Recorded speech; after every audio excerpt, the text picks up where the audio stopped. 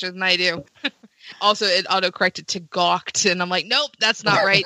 yeah, we're we're pretty sure this is Guy Fawkes Day. Okay. And Matt and Jonathan? My autocorrect turned it into Guy Fakes Day. we also went with Fawkes and said Guy Fawkes Day. Uh, I would have gone with golf and Guy Fawkes Day or Guy Fawkes Night. That is the correct answer. Ten points to both teams. Is Guy Fawkes Day my birthday? By the way, I think it is. November fifth. Yeah, it is your birthday. So you just need to get a cool mask there, Jonathan. I have a cool mask. You've never seen me without it. That's true. Valid point. When you're right, you're right. You, you're always right. All right. so your last question, round five, is in European history. And the question is along with Spain, England, and the Holy Roman Empire, what unlikely country fought in the War of the League of Cambrai, and that's C A M B R A I, from 1511 to 1516? Canbari, C A N B A R I. Cambria. Yes. I think, uh, uh, yeah, Cambria. Cambria. Yeah. C A M B R A I. Yeah. Well, it's not Cambria then. Is it A I or I A? It's A I. All right, we're locked in. Okay. I don't know what this is, Matt. I've n- never heard of Yeah. the League of Cambrai. Yeah. I've never heard of the League of Cambria either. So I've heard of Coheed and Cambria. Yes, I've heard of the font Cambria. it, I, I, it honestly makes me wonder if you might have mistyped it, Chris, because Cambria is a thing. Uh, I've never heard of Cambrai. I will double check. Give me just a moment, please, sir. And it is C A M B R A I. I did spell it correctly. Okay, thank you. So Spain and England. This is before the navies became a big deal. Uh, so it's not Armada, Armada related. The HRE would be you're talking about things like Italy and Germany and, and right up the middle of the right side of the continent. I, I feel Yeah. like this is maybe Denmark. Yeah, I was going to say the Danes because you watch Viking. Sh- that's kind of everybody was coming from Denmark. There's a show I've been watching, and it's the Danes are in England, and it's around that same time period. I, that would have been my first guess too, Jonathan, is to go the northern somewhere that Scandinavian type country that's not typically like with Spain, France, what you would think Italy, but yeah, I think Denmark was one of my first Denmark or up, but I don't think Norway, Sweden, Finland. You don't hear those guys in there, No. but Denmark absolutely was was uh, moving out looking for agricultural lands in other countries. Well, and also this feels like this is within the Hundred Years' War area, and Denmark was a major player in the Hundred Years' War, like uh, King Christians. There's a bunch of King Christians, I think. Yeah. So that feel that's why I got there. Uh, so I'd be cool with playing Denmark. Yeah, I think that's we were kind of on that same wavelength, so I can go with Denmark and and and live with that. Okay, we'll lock in Denmark. Uh, yeah, we picked up on unlikely. We were hoping it was a clue. Um, we went with Switzerland because they're usually neutral in a lot of wars. So when he said unlikely, we went with uh, Switzerland. You know, that's a pickup of a good clue if that's the right answer. And the answer is it was the last war they ever fought in. It is Switzerland. Wow. Good job, Joe. Wow. Joe, Switzerland. I'm like, that would be unlikely.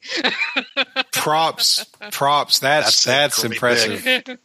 Well done. All right. After five rounds, Carmel and Joe keep the lead, 144 to Matt and Jonathan's 116. All right, and this is round six. In round six, I usually give this round to uh, one of our uh, uh, awesome Patreon listeners to uh, uh, write the questions for. And I want to say thank you so much to Brian Nash for writing these next three questions. Thanks, Brian. I hope they're all about video games.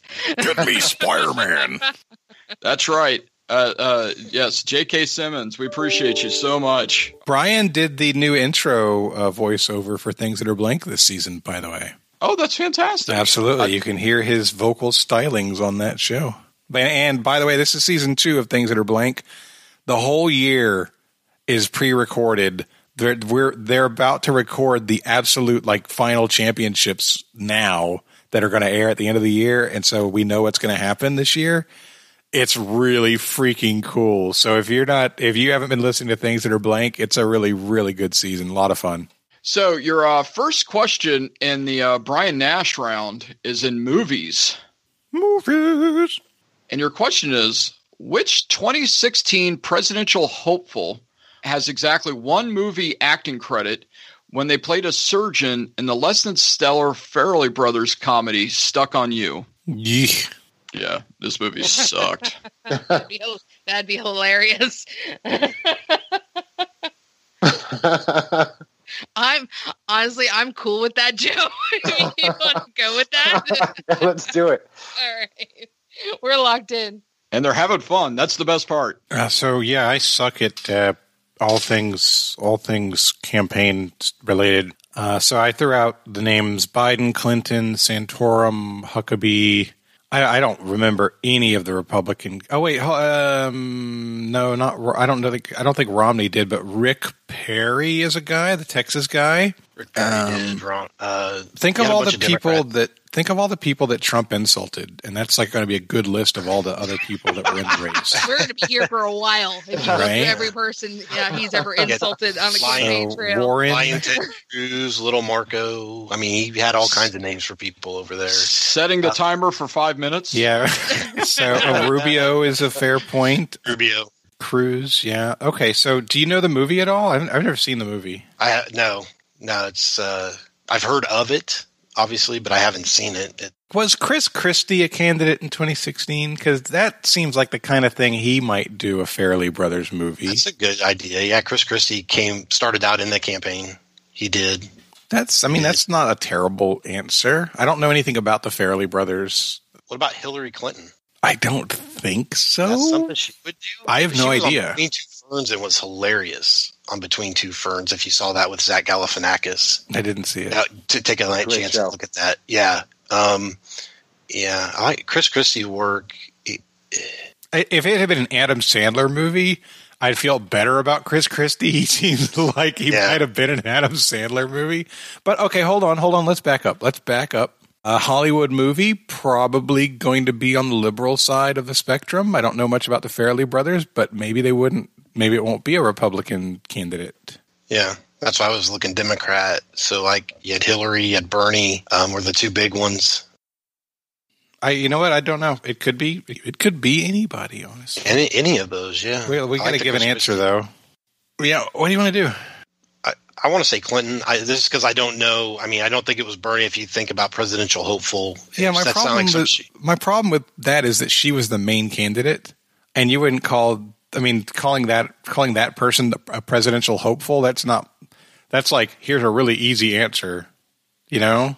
Yeah, true. So what, wait, would you want to do like? Then you want to do Christie? You think Chris Christie? You know what? I, I'm arguing against yours, but I don't have a good one to put in its place. We can Oh. go Clinton. That's fine. Yeah, let's go Hillary Clinton. All right. Uh, Chris Christie's a pretty good answer. I kind of wish he thought of that because that, that sounds like something Chris Christie would do. However, Joe threw out Ben Carson, who is an, an, an actual surgeon, uh, and that would be so hilarious to me to see him in a movie because I'm like, uh, my opinion, of Ben Carson aside. But anyway, um, but I think this movie is like it's got Greg Kinnear in it. It's about conjoined twins. It's it's a weird movie, but we end up going with Ben Carson. Well, the answer is the one surgeon that was uh, running for president. It was Ben Carson.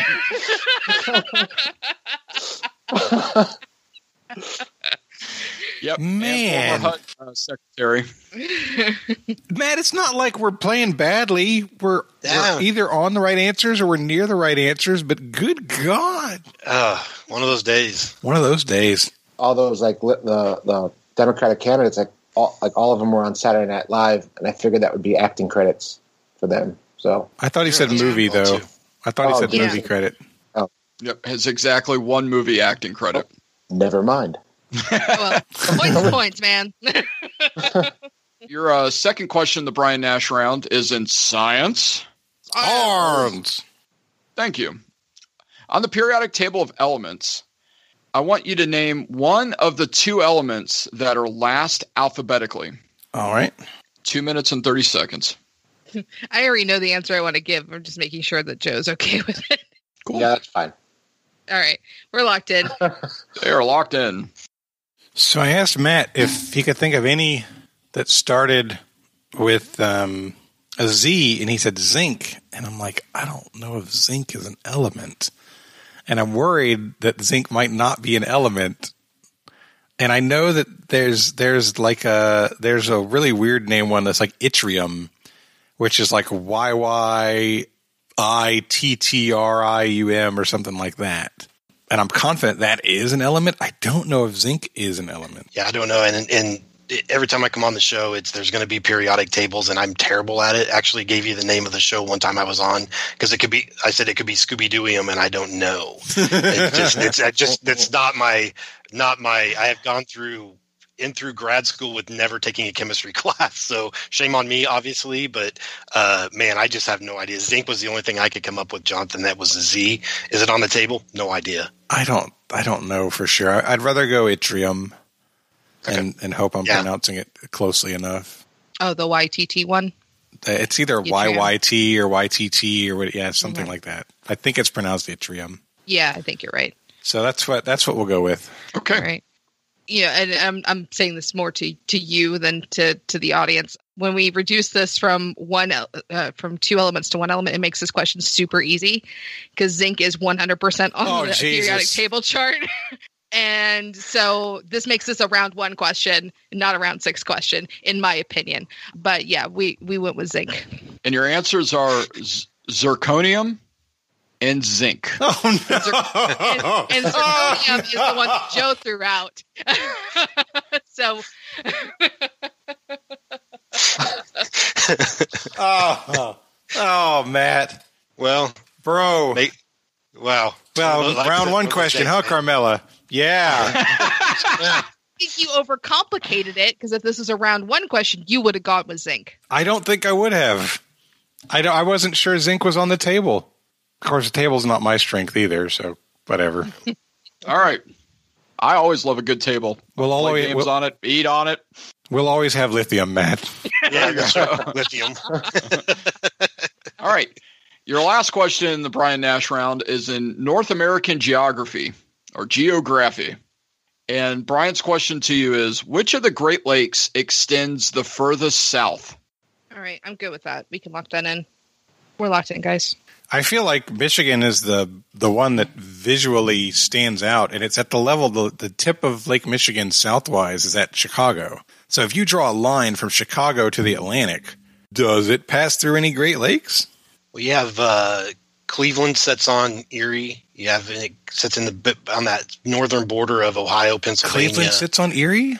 I believe so in that area. Okay, it's in that area. I know whether it sits on it or not. I don't know, but it's in that area. But Lake Erie, that's South Buffalo, Buffalo, south of Buffalo, Erie Canal. Erie south, I know that. I thought. Are you sure that Cleveland isn't on Michigan? Like on the uh, like. Cleveland would be over by Lake Huron and Lake in that area.